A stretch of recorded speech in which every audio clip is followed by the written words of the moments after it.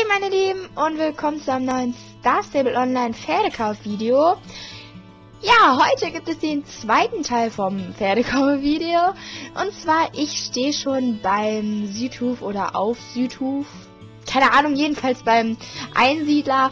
Und da werden wir heute nämlich einen Welsh Pony als erstes kaufen. Und ich wünsche euch ganz, ganz viel Spaß beim Zuschauen.